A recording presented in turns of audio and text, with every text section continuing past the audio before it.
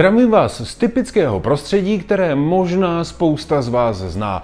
Typický panelákový byt. A můžete ho klidně zaměnit třeba za neklimatizovanou kancelář, špatně utěsněné podkroví a podobná místa, kde když začne opravdové léto, tedy teploty řekněme kolem 30 stupňů ve stínu, je k nevydržení. No a aby tam k vydržení bylo, mám tu pro vás jedno řešení. Chytré řešení. A řešení se skrývá v této krabici. Jde o mobilní klimatizaci Sencor SAC MT9030C, tedy přístroj, který vám pomůže efektivně, rychle a úsporně schladit vzduch třeba u vás doma nebo v kanceláři. A navíc ji díky chytré aplikaci můžete ovládat i na dálku.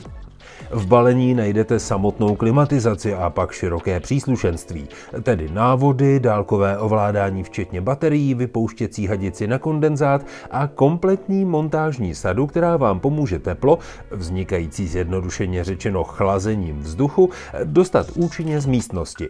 A jak na montáž? Je to naprosto jednoduchý proces. Očistíte okno a jeho rám a následně nalepíte suchý zip na rám a okno. Pomocí suchého zipu pak přichytíte těsnění. Nemusíte se bát, okno i nadále funguje normálně. A pak už stačí jen nainstalovat výpustní hadici pro teplý vzduch, napojit ji na jednotku klimatizace a umístit ji se správnou koncovkou do okna, respektive do otvoru vtěsnění. A teď už nezbývá nic jiného, než klimatizaci zapnout a užívat si její výkon, který bez problémů vychladí místnost o ploše až 35 metrů čtverečních.